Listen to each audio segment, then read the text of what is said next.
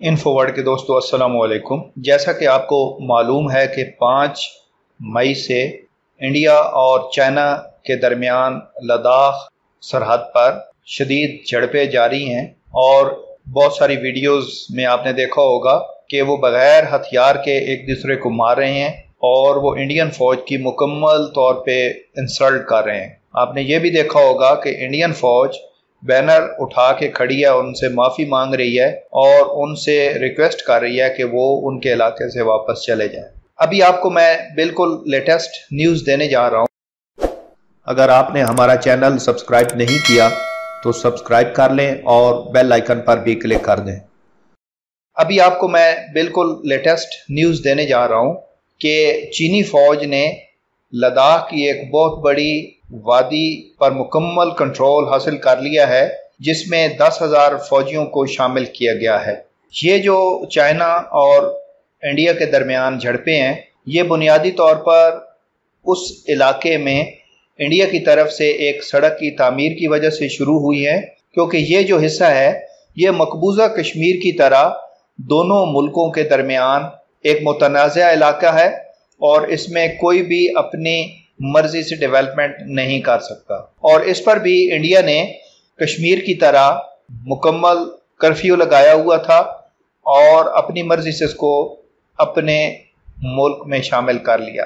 अब जो रिपोर्ट्स आ रही हैं, उनके मुताबिक तकरीबन दो माह से चाइनीज़ और इंडियन अफवाज एक दूसरे के सामने खड़ी रही हैं और अब जो है, पिछले एक माह से वहाँ पर चाइना की अफवाज की तरफ़ से गैर मामूली सरगर्मियाँ देखने में आई हैं, जिसमें वो अपनी अफवाज को बढ़ाने के साथ साथ मुख्तलिफ़ जो और जंगी साजो सामान है, वो भी वहाँ पर इकट्ठा कर रहा है। इसके अलावा वहाँ पर बॉर्डर के साथ जो उसका एक एयर बेस है, वहाँ पर भी वो मुख्तलिफ़ किस्म के जो जंगी जहाज़ है, उनको डिप्लाई कर दिया है। अब पाँच मई को इंडिया को उस वक्त एक झटका लगा जब तकरीबन पाँच हज़ार चीनी फौजी दरियाए गलवान में दाखिल हुए और उसके बाद 12 मई को पेंगोंग झील के सेक्टर में भी इसी तरह का एक और हमला किया। इसके साथ ही जनूबी लद्दाख और नकू में डेमचोक के करीब भी छोटी छोटी हमला आवर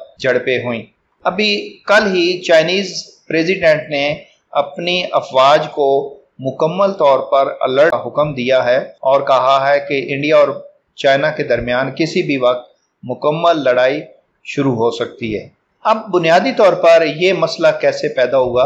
ये दरअसल जो मुख्तलिफ़ इंटरनेशनल कुतें हैं, वो सी पैक मनसूबे को सबोतार करना चाहती हैं और इसकी वजह से चाइना ने ख़तरे को भांपते हुए लद्दाख पर अपनी फोर्सेस पहुंचाकर वहाँ पर ये झड़पें शुरू की ताकि वो तमाम तर तवज्जो जो है उसकी तरफ़ मुंतकिल कर सके।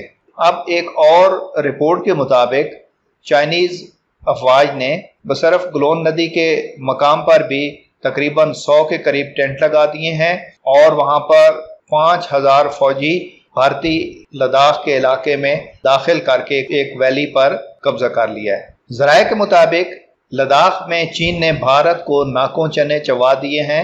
मुतद फौजी गिरफ़्तार कर लिए।